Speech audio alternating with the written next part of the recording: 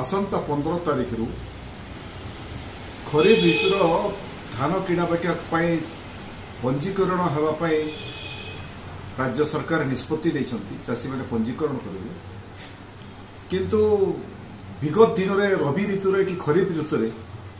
धान किणा बिकार जो अचल अवस्था सृष्टि होता चाषी टोकन लैप्स होगला चाषी बाहर बिक्री करें हजार बारश टकर बिक्री कले ମିଲର୍ସମାନଙ୍କର ଯେଉଁ ମର୍ଜିରେ ମଣ୍ଡି ଚାଲୁଛି ସେ ଉପରେ ରାଜ୍ୟ ସରକାର କୌଣସି ସ୍ୱତନ୍ତ୍ର ପଲିସି ତିଆରି କଲେ ନାହିଁ ଏବଂ ସେ ଚିରାଚରିତ ଢଙ୍ଗରେ ପୁଣି ଥର ପୁଣି ଥରେ କହିଦେଲେ ଯେ ପନ୍ଦର ତାରିଖରୁ ରେଜିଷ୍ଟ୍ରେସନ୍ ହେବ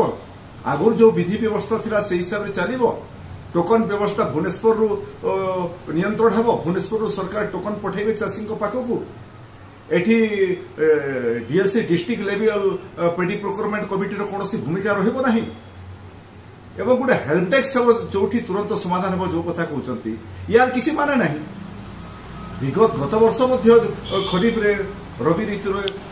चाषी मान जो टोकन लैब सेवा कथा कि जो मैंने रेजिट्रेसन करेसन कलापर टोकन आसूना से समस्ते जिलापाल जरिया सिविल सप्लाई डिपार्टमेंट जरिया अभियान कर এবং অভিযোগ মানে যাইকি ভুবনেশ্বরকু যাই কৌশি সমাধান হল না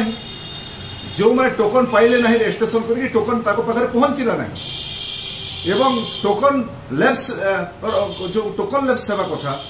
সে উপরে মধ্যে পলিসি না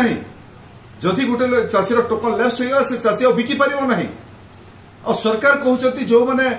ଟାର୍ଗେଟ ଅଧିକ ଧାନ ବିକ୍ରି କରିପାରିବେ ସରକାର ଯେଉଁ ଯେତେ ଧାନ ବିକିବା ପାଇଁ ନିଷ୍ପତ୍ତି ନେଇଛି ତାଠୁ ଅଧିକା ଧାନ ବିକ୍ରି ପାଇଁ ସେବା ସମୟରେ ରେଜିଷ୍ଟ୍ରେସନ କରିବା କଥା କହୁଛନ୍ତି ଯେତେ ଧାନ କିଣିବା ପାଇଁ ଟାର୍ଗେଟ ରଖୁଛି ସେତେ ତ ଧାନ ସରକାର କିଣୁନି ଅଣ୍ଡରନେଟ୍ରେ ଧାନ ବିକୁଛନ୍ତି ଚାଷୀ ମିଲର୍ସମାନଙ୍କ ରାଜୁତି ଚାଲୁଛି ଟୋକନ୍ ଲେପ୍ସ ହୋଇଯାଇଛି କଲେକ୍ଟର ଯେଉଁ ଅଭିଯୋଗ ଦେଉଛନ୍ତି ତା ଉପରେ ଭୁବନେଶ୍ୱରରେ କୌଣସି କାର୍ଯ୍ୟାନୁଷ୍ଠାନ ହେଉନାହିଁ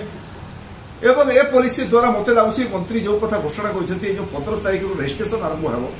ସେ ସମାନ ଅବସ୍ଥା ହେବାକୁ ଯାଉଛି ପୁଣି ଥରେ ଖବି ଋତୁରେ ଖରିଫ ଋତୁରେ ଟୋକନ ଲ୍ୟାବ୍ସ ହେବ ମିଲର୍ସମାନଙ୍କର ମର୍ଜିରେ ଧାନ ବିକା କିଣା ଚାଲିବ ଏବଂ ଯେଉଁମାନେ ରେଜିଷ୍ଟ୍ରେସନ କରିଛନ୍ତି ଟୋକନ ପାଇବେ ନାହିଁ